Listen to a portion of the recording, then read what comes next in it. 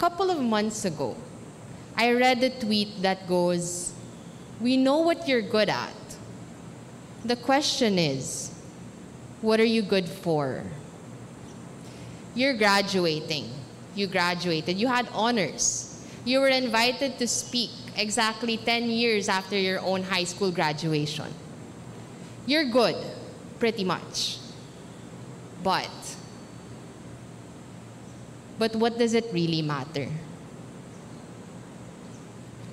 That is the question I hope we will all begin to answer, especially as you step foot outside of these covered courts. There was another tweet I read just a couple of days ago. It said that the vast majority of people that you look up to are remarkably unremarkable. Your idols, your bosses, the people standing in front of you right now, we're all vastly unremarkable. Sometimes it's because we recognize that even supposed good people do bad things. Other times, it's simply because we remember that we're all just human. We all have flaws. We all have shortcomings. We all make mistakes and have weaknesses. That can be disenchanting to know that the person speaking in front of you right now was called to the guidance office in her freshman year because all of my teachers were complaining about me. Because I was irresponsible, because I wasn't submitting my reply slips, and because to them I was underachieving. It's disenchanting. But it's a good opportunity to remember that if people, ordinary people like myself, can make it to the Forbes 30 under 30 list, a list I made it to exactly a year ago, then so can everyone in this room. That's the border, the wall I hope to shatter as I stand in front of you right now. That anyone can be here, and more importantly, anyone can do the long list of things I've done. But, once again, there's a but. There's a difference. Anyone can make it big anyone can change their communities, can change the country. But not everyone is able to do so. Why? What spells the difference? And I need everyone here to listen because this isn't fluff. This is true.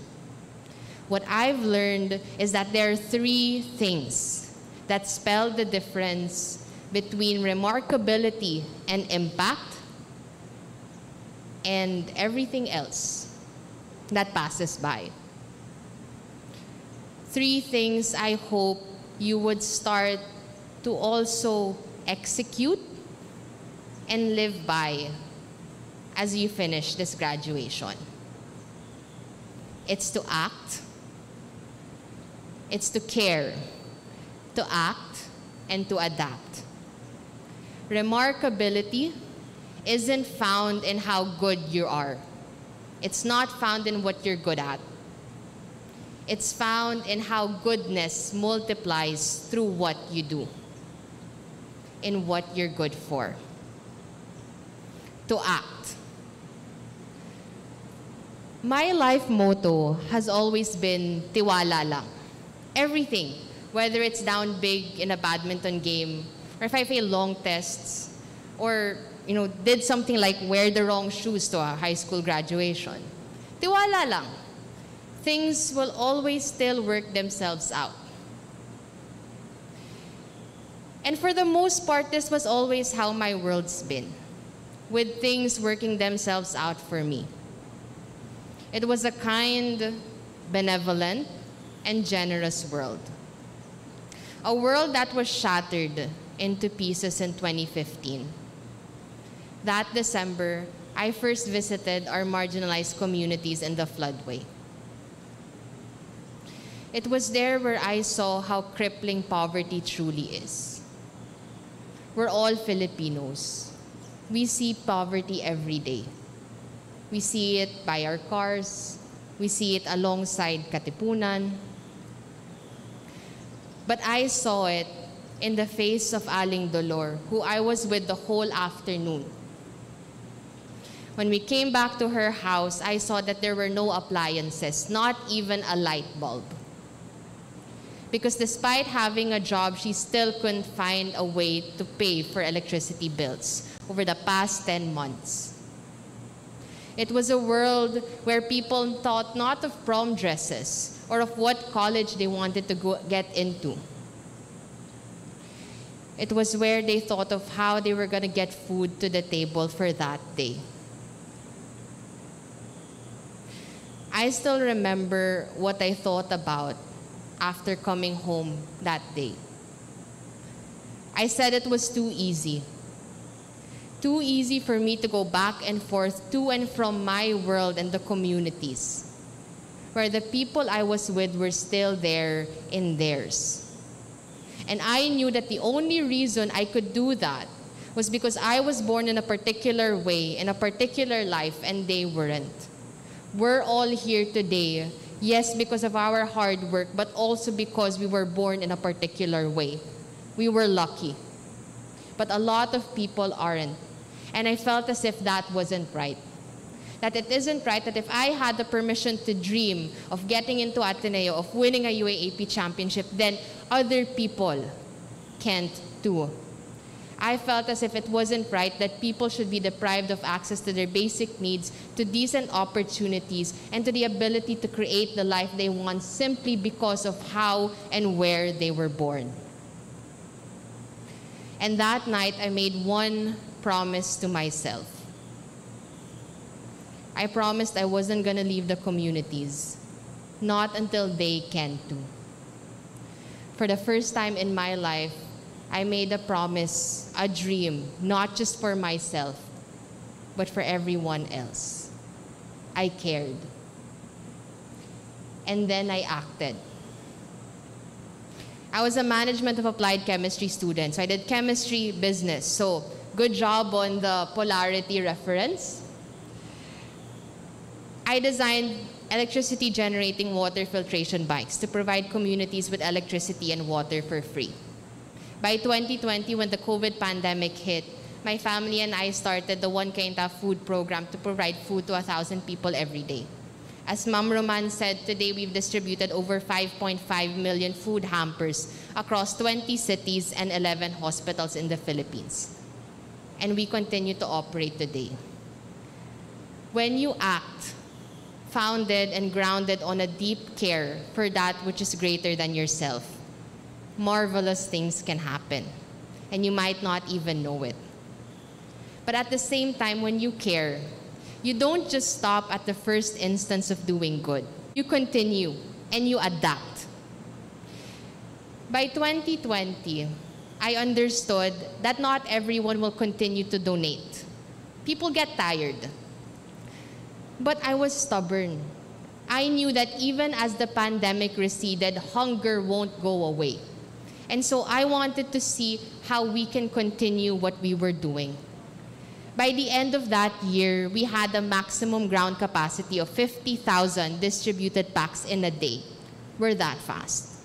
And so I leveraged on this brevity to re-partner with our partner companies and restaurants and say, give me your overstock produce, your near expiry products, and I promise you, I will have them consumed before they even hit the date. We were able to benefit our partner companies and restaurants and ensure a steady supply of food to our communities.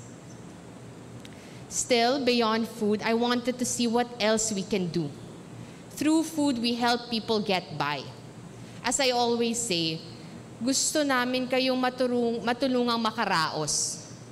Pero, gusto rin namin kayong makitang makaahon. And so we started our education and livelihood programs, a key partner of which is MC.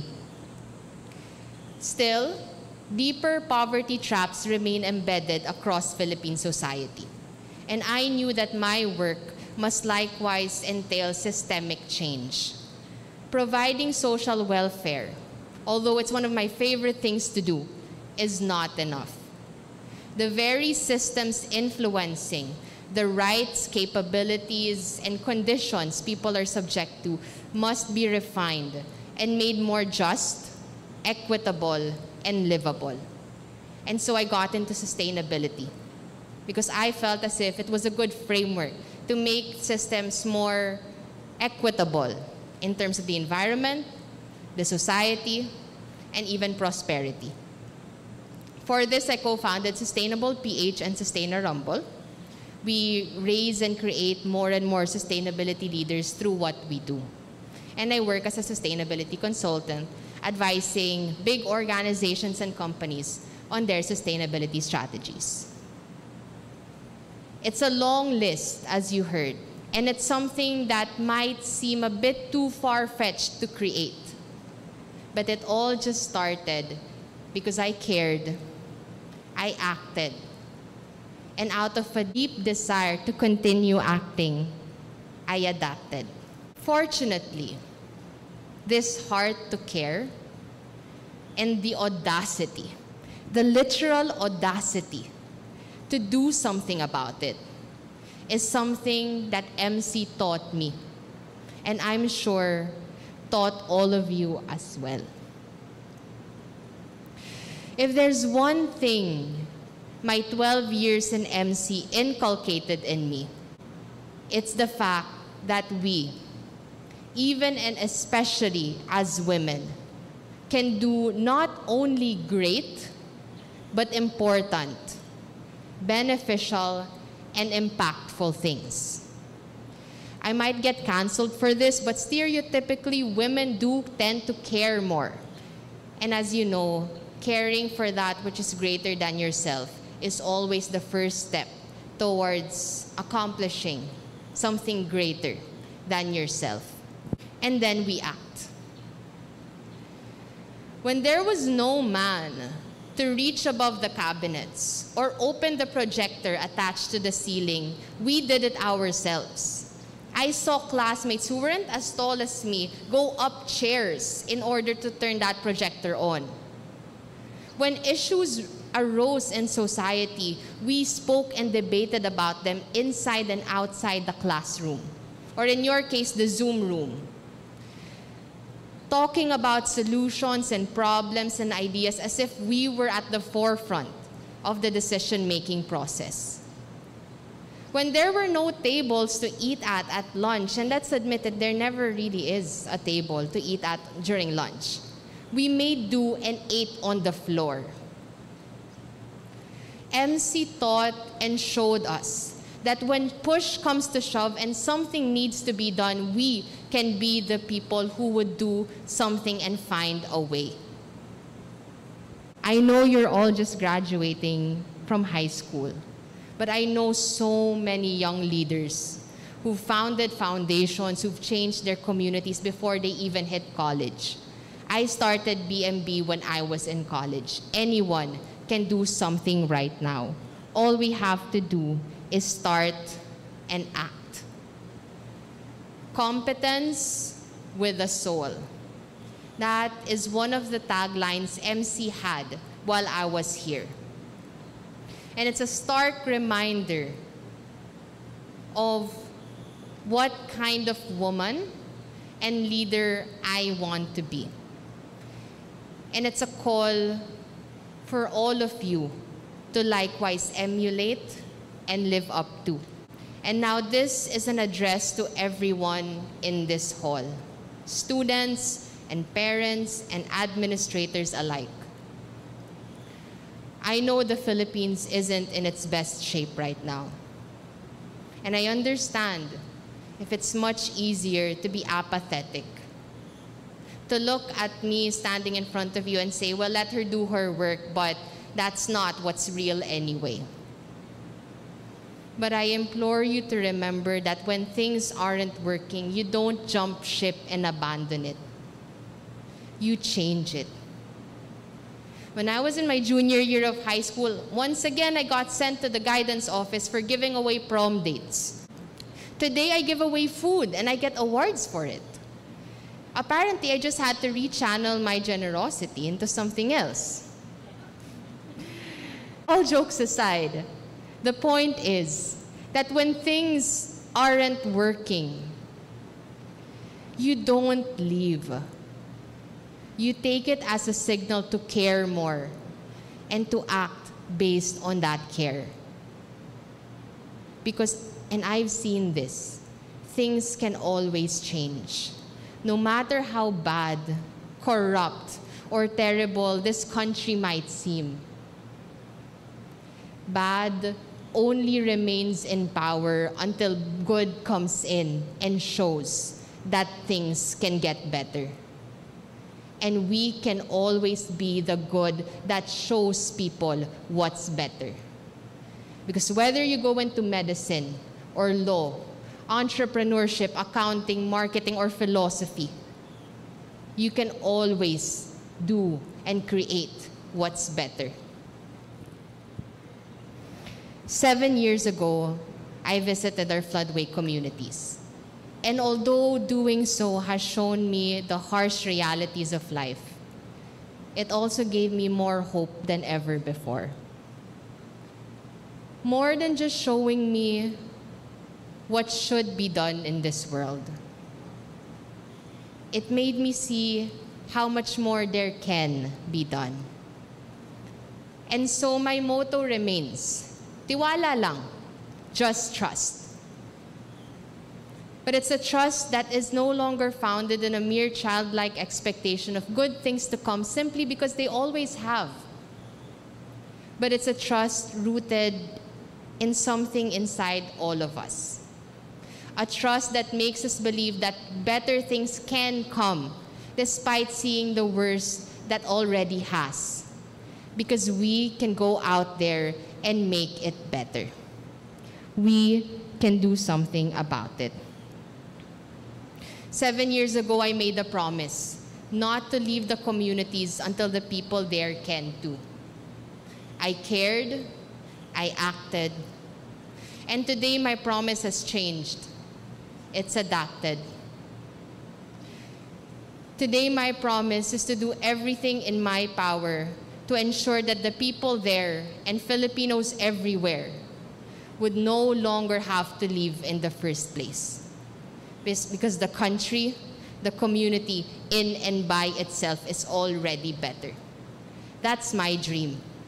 It may not be yours, but I invite you, as you enter college, to dream your dream. Now is not the time to be perfect.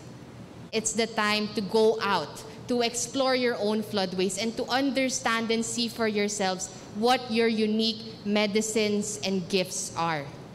We all have medicines and gifts to share to this world. Now is the time to explore them, to see what can be done. So dream, always dream. Dream your dream. Dream crazily whoever really thought that I'd create electricity generating water filtration bikes, I never really understood how batteries worked. But dream crazily. But always dream with a purpose. Dream your dream, but dream for a better Philippines. Dream a better Philippines. One that we envision not just for ourselves, but for our families, our friends, for all those who dream with us, and for all those who can't. Dream and wake up every morning trying to work for that dream. Trust me when I say that to live in love and in love of others not only pays, as my story shows, but is also the only way to truly live, as MC all taught us. We now live in difficult times, in critical times. It is no longer enough to dream solely for ourselves. And all the more is it no longer enough to live only for ourselves. So dream encompassingly and live always for that which is greater than yourself. Don't ask yourself the moment you step into college, what you can get from an MC, an Atenean, a Lasallian, a UP education. Ask not what you can get, ask what you can give. Trust me, you'll grow and achieve so much more if you do that. And so, class of 2023, you're all remarkable, but we're all just human. So, the truth of the matter is, we're all vastly unremarkable. We're normal. But because we can care, because we can act, because we can adapt, we can do remarkable things. Your graduation is one of them, but it won't be the only one. Don't let it be the only one. Always ask yourself not what you're good at and not what you want to be good at. Ask yourself, what do I want to be good for? What do I need to be good for? That is the secret. That is what spells the difference between remarkability and everything else. And if it matters to you, that's how you get into Forbes under 30. Class of 2023. Go and be the good that makes the Philippines better. If we can do it, if we can contribute it, trust me when I say, so can you. Congratulations, MCHS batch of 2023.